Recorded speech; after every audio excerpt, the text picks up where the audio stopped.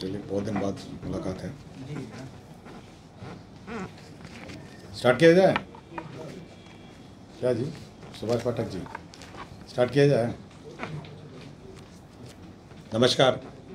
आज मंत्रिमंडल में 25 एजेंडों पे विचार हुआ और उस पर निर्णय लिया गया।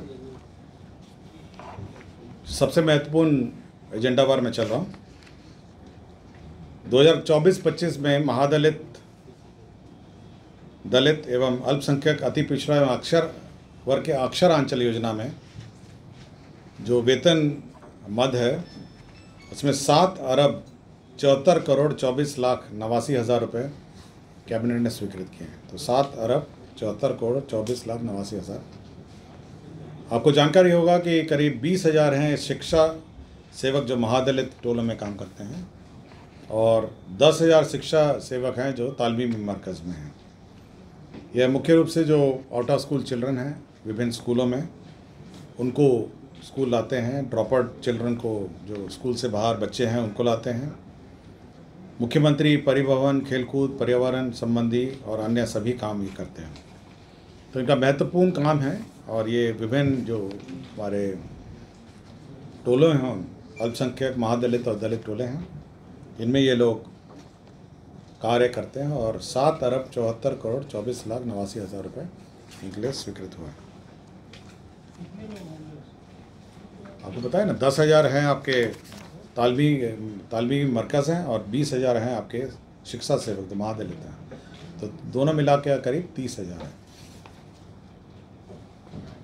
मनरेगा में महात्मा गांधी राष्ट्रीय ग्रामीण रोज़गार गारंटी योजना, इसमें 2024 की नियमावली स्वीकृत हुई है। आपको पता है कि ये जो योजना है मनरेगा, ये महात्मा गांधी राष्ट्रीय ग्रामीण रोज़गार गारंटी अधिनियम 2005 से आच्छादित है 2005 और इसके अंतर्गत ये एक्ट में ही प्रावधान है कि 100 दिनों की रोज़गार की गारंटी सरकार देती है। तो किसी भी व्यक्ति को 100 दिन का रोज़गार कम से कम गारंटेड रोज़गार दिया जाता है इस योजना के अंतर्गत। और इसके अंतर्गत जो यदि इसमें जो बेरोजगारी भत्ता है वो उस परिस्थिति में भुगतय होगा, यदि कोई उसको रोज़गार नहीं देता यदि वो आवेदन देता है आपके पंचायत सेवक को, मुखिया जी को और पंचायत के प्रतिनिधियों को, और उसको मनरेगा के अंतर्गत कार्य नहीं दिया जाता है, अगर वो माँगता है और उसको नहीं दिया जाता है तो प्रथम महीने में जो उसका वेज दर है, जो उसका जो मजदूरी है, उसका एक चौथाई के दर से उसको भुगतान होगा, तीस दिन।